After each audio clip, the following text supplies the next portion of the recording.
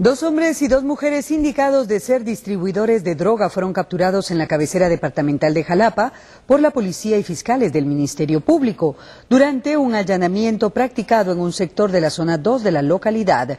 Han sido identificados como Guillermo Antonio Rodríguez Sandoval, Rosa Amabilia Sandoval Ceseña, Lilian Esperanza Méndez Gregorio y Víctor Estuardo Ríos de la Rosa.